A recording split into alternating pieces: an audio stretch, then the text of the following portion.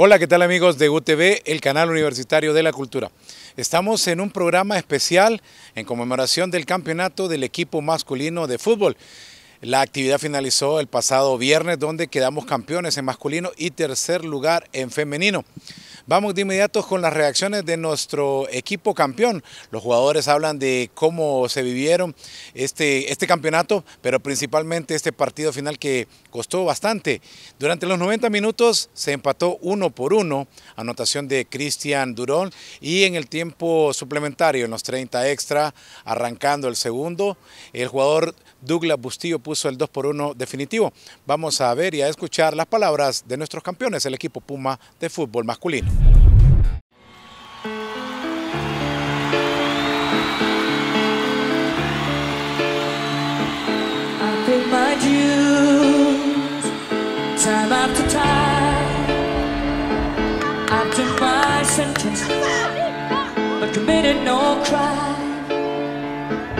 And bad mistakes, I've made a few.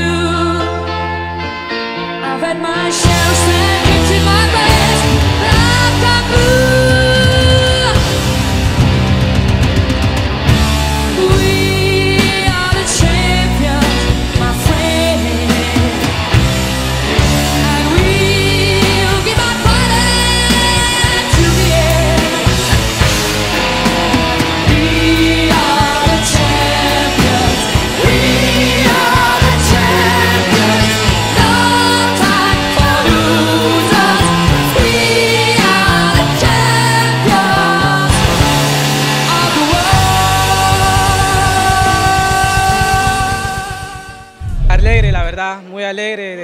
poner en alto el nombre de, de la Autónoma.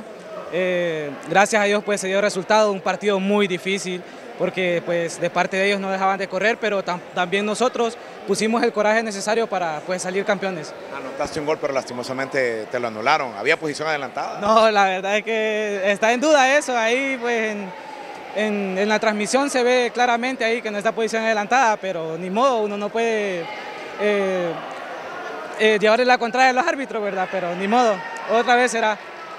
Pero lo importante es que se logró el objetivo de ser campeón. Sí, así es, gracias a Dios, pues vamos a seguir trabajando para ahorita lo que después de, de esto, pues vamos a seguir trabajando para, para lo que se viene, que es la Liga Intermedia, buscar el ascenso mayor. La verdad que sí, muy importante que, que entré a lo que el profe me dijo, a aportarle al equipo. Por ahí teníamos un poco de displicencia por la banda derecha y el profe me dijo que, que entrara y que hiciera mi juego y bueno, gracias a Dios lo hice de la mejor manera. Bueno, por cierto, costó bastante este triunfo. Demasiado, un partido muy duro, la verdad que terminé sin piernas, me duelen todavía las piernas, la verdad, pero bueno, gracias a Dios se nos dio el resultado y somos campeones. La verdad que muy feliz por el logro que hemos hecho. Nos costó porque fue difícil, la verdad. Sufrimos, pero gracias a Dios pudimos sacar el resultado. Bueno, ¿a quién le dedicas este éxito? Pues primeramente a Dios, a mi papá en el cielo y a toda mi familia que pudo verme a través de la, de la transmisión. Estaba en sintonía todo el Pedregal. Sí, así en la transmisión estaba toda la gente ahí. Bueno, costó, por cierto, conseguir este título. Sí, la verdad costó porque desde el principio estuvimos todos en contra. En el primer partido nos expulsaron al entrenador, entonces desde el principio al final estuvimos todos en contra, pero gracias a Dios pudimos sacar los resultados. Al final se da, se quedan con el hecho de la satisfacción de que nunca se dieron por vencido también. Sí, eso hoy creo que se vio reflejado, todo el esfuerzo que hicimos todos los jugadores que entramos, los 11, los cambios, entonces feliz la verdad. Bueno, gracias a Dios. Eh, Primero agradeciéndole a Dios por, por el triunfo y por el campeonato, que creo que es algo que, que Puma ya, ya día se merecía, ya día buscaba. Lastimosamente en Juduca eh, el año pasado quedamos con ese sabor aridulce porque no, eh, nos llevamos media de tercer lugar, pero no pudimos quedar campeones por, por cosas ajenas al fútbol. pues. Y pues hoy, hoy log- logramos el objetivo ansiado, que, que era el campeonato. Eh, gracias a Dios pues contribuí con un gol y eso me llena de mucha alegría. ¿No te pusiste nervioso cuando encaraste al portero y se la levantaste en vaselina? No, creo que nosotros, le- eh, los que somos delanteros, nos dedicamos a eso y claro, los nervios siempre están, pero tenemos que aprender a manejarlos y pues vi el arco ahí, el balón cómo quedó y pues él fue lo único que pensé. Bastante difícil, 120 minutos, no querían llegar a penales. Sí, claro, eh, sabemos que eh, fue un partido duro, sabíamos desde el inicio que iba a estar fuerte ese partido. eh, logramos sacarlo en lo, que fue en los 120 minutos, no queríamos llegar a penales porque los penales es un sorteo, no, no está nada definido, entonces eh, gracias a Dios pues logramos sacarlo en, en los 120 minutos. y con dedicatoria a toda mi familia, ¿verdad? La familia de Alianza Valle, mi familia de Minas de Oro, eh, especialmente para Lisbe, que es una familiar mía, que lastimosamente está entubada por esta situación del dengue, güey. Entonces, principalmente el triunfo a Dios, siempre, primeramente que todo, y a mi prima, pues, que lastimosamente está entubada y que espero que pronto pueda salir y se recupere. Qué bueno, eh, con dedicatoria este título, ser campeones, ¿cómo se siente? No, la verdad es que muy alegre, ¿verdad? Por todas las posibilidades que hemos tenido, todas las oportunidades que sabemos que ha sido muy difícil desde que descendimos. Muchos abandonaron el barco, pero pues nosotros nos mantuvimos aquí y pues este es el triunfo que nos merecíamos. La cosecha. Sí, es la cosecha de bastante esfuerzo, bastantes entrenos, bastante dedicatoria y bueno, aquí están los, los triunfos. Muy felices ya que nos costó. eh, desde el principio veníamos trabajando desde hace mucho tiempo, entonces nos, nos costó la verdad. Este partido estuvo muy difícil, pero estamos muy contentos del resultado. Bueno, no querían llegar a la lotería de los penales. La verdad no, porque estábamos muy, muy cansados, la verdad, porque los, mili- los militares son muy buenos físicamente, entonces nosotros estábamos muertos, la verdad. Había mucho cansancio. Sí, mucho desgaste físico. ¿Y este campeonato a quién se lo dedica? A, a todos los Pumas y a todos los que nos vinieron a apoyar, a mi familia y de parte de mi mamá.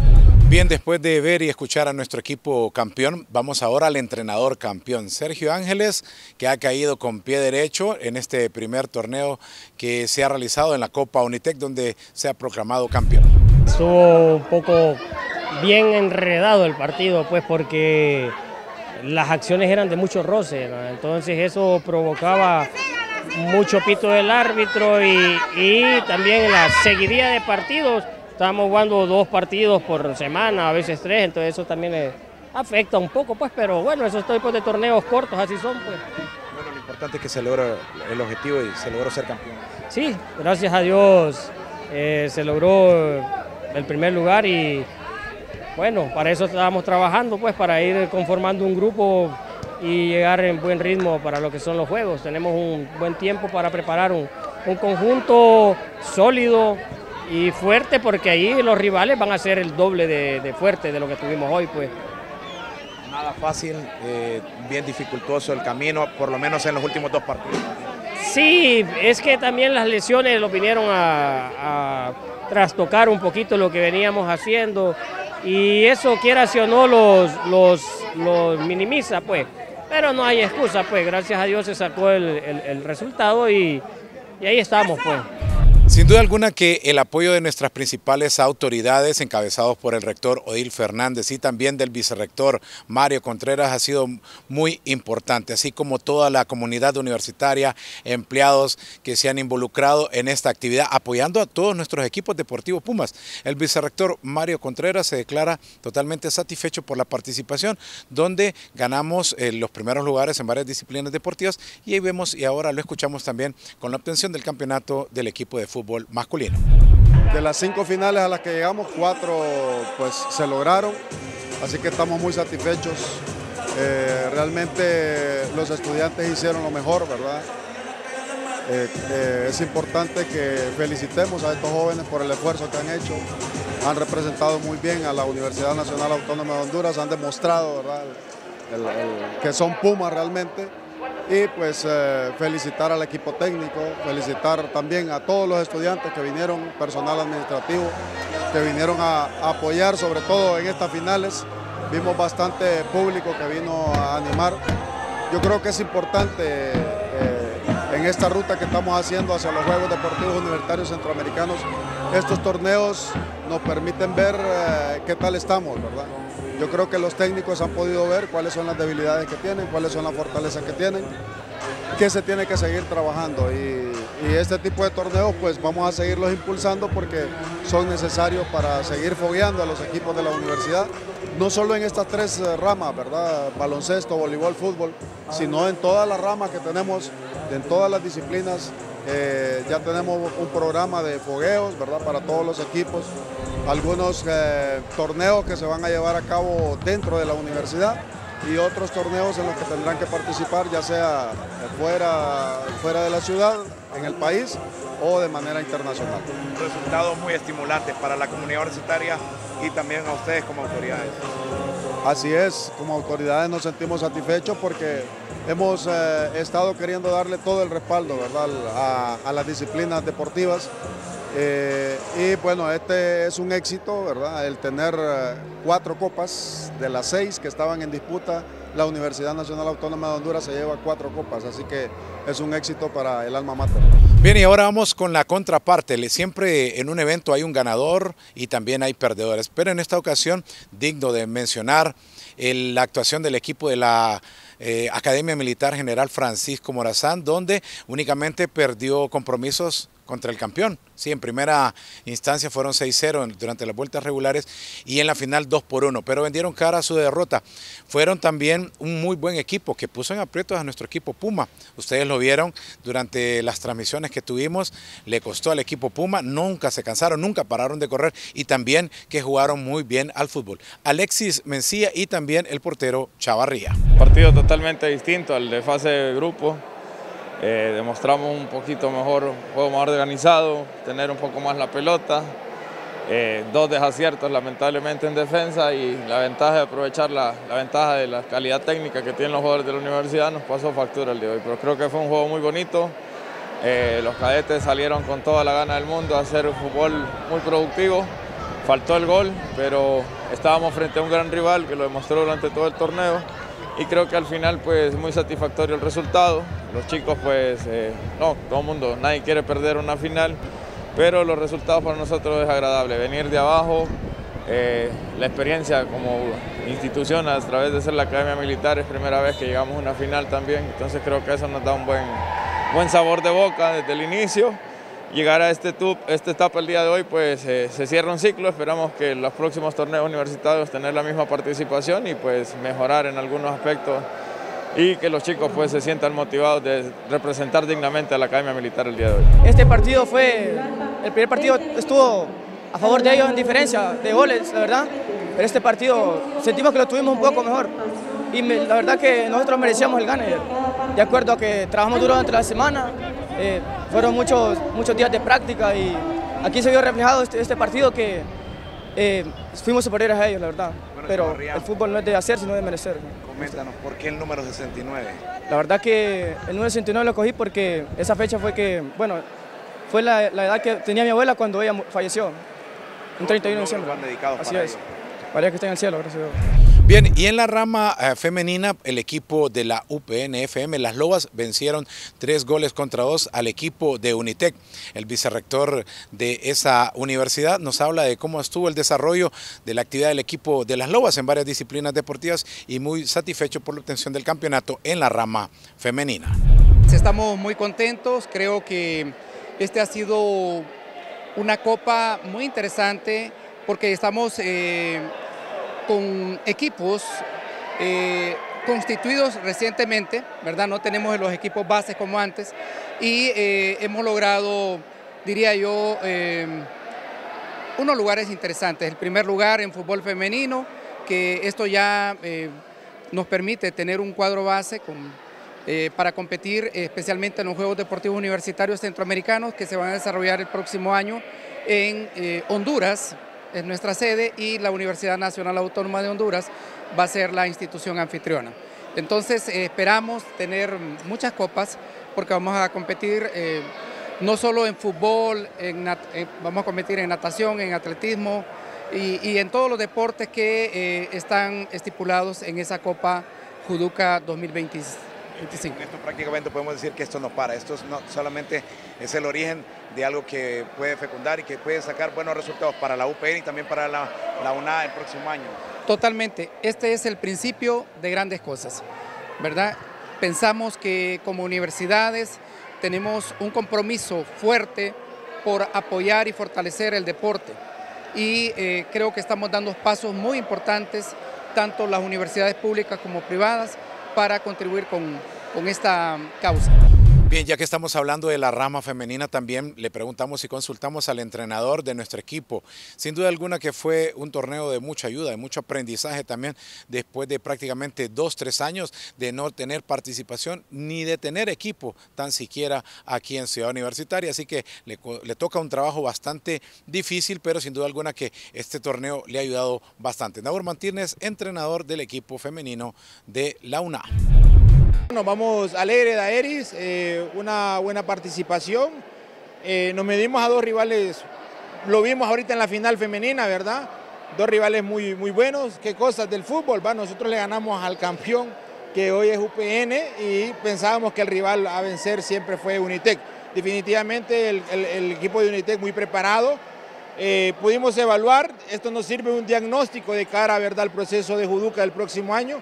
Entonces lo vemos con una participación diagnóstica y sabemos que tenemos que seguir mejorando ciertas cosas con el equipo de Puma femenino, pero siempre avanzando con el proceso de- del, del trabajo de cara a Juduca. ¿Qué es lo más próximo, la participación en qué evento? La participación ahorita pues arrancamos, vamos a ser parte de la Liga de Santa Lucía Femenina, Liga Mayor. Eh, estarán estos mismos equipos, entonces eso también nos motiva nos, a seguir trabajando, eh, siempre eh, con el apoyo de las autoridades, ¿no? que es importante este proceso, porque sin ellos pues es bien difícil avanzar. Pero la próxima estamos verdad Eh, con lo que va a ser la Liga, Liga Mayor Femenina en Santa Lucía, y lo más seguro se haga verdad la visita a los centros regionales para llevar verdad un combinado deportivo y hacer una base de entrenamiento. Ya hemos estado en comunicación con la gente de Ceiba y San Pedro Sula y posteriormente pues toca verdad salir a estos centros regionales para qué? Para poder ver toda nuestra comunidad universitaria a nivel del país. Ahorita tenemos lo micro, ¿verdad? Que es solo CU.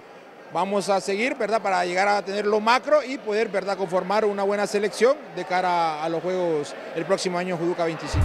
Bien, y como parte final y de colofón, vamos a también a escuchar a la gente que también puso su granito de arena y que fue importante en la labor de este torneo.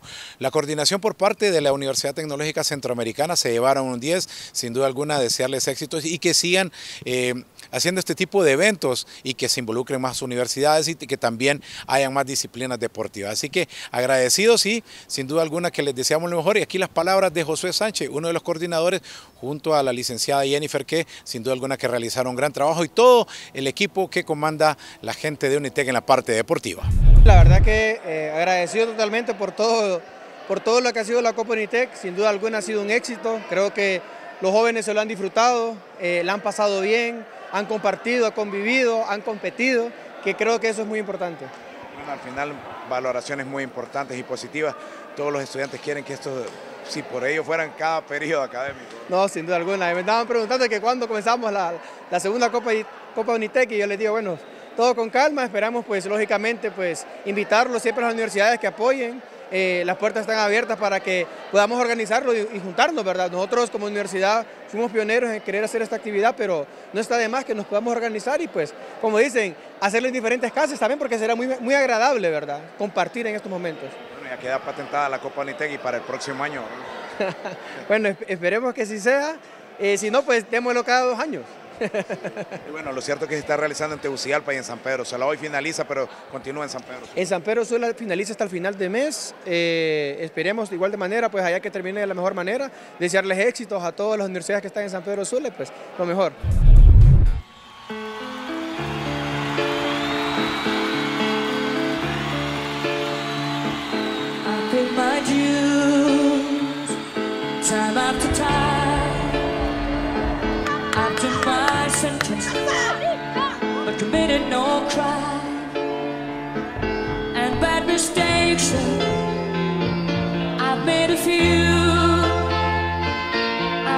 chance.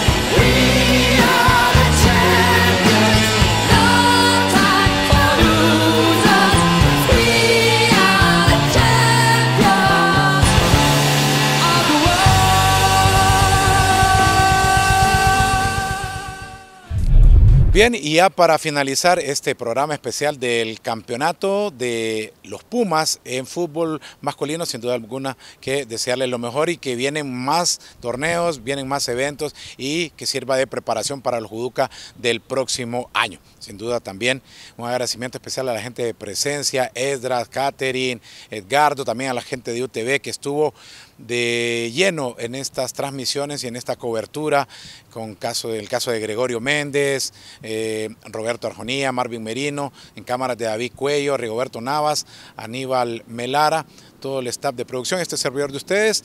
Llegamos hasta aquí en esta cobertura especial. Rigoberto Navas también nos estuvo acompañando en la postproducción de Héctor Sandoval, este programa especial de los equipos campeones Pumas, aquí a través de UTV, el canal universitario de la cultura.